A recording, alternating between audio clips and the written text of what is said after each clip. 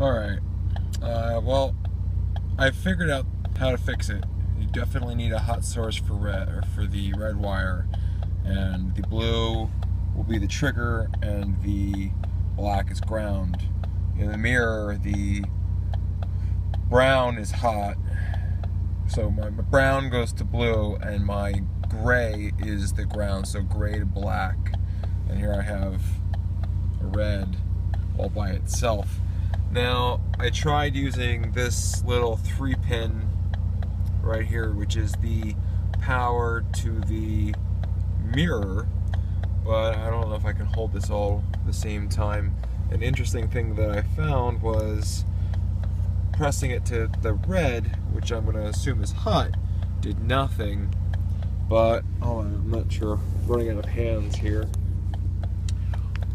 Mm.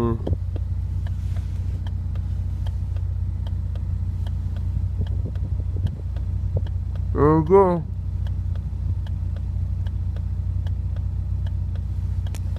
Sorry, holding the phone in my mouth there. So yeah, that's that's it. That it works. It triggers it. It lights all the lights.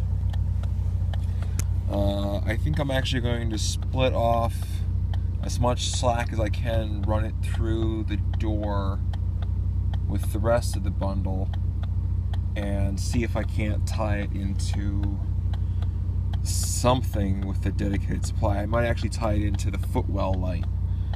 Um, so that's the best I got at the moment. I think everything on the door is power only when you need it.